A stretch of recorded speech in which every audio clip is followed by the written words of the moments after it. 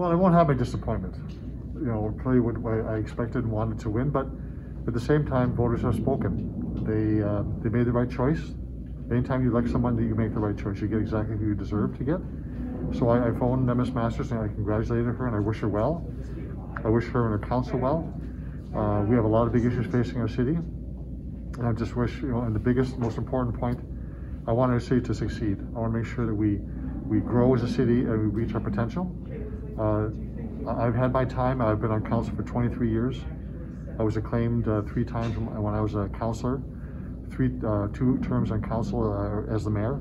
So I'm very, I'm very proud of my record, and, and I, I just I wish the whole new council well because there's a lot of challenges ahead of us as a city, and I want to make sure they're in a position to succeed because, because if they succeed, our city succeeds.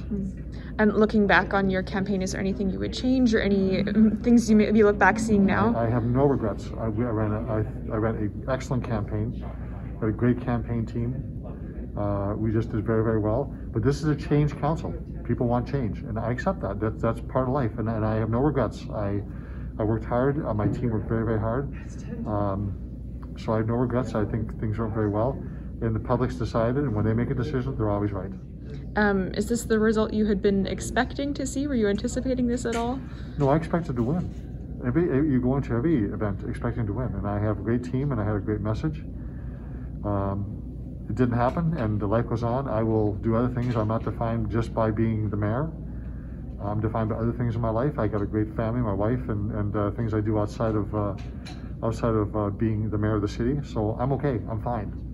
And Um, and move on. We'll do other things, and I'm I'm fine.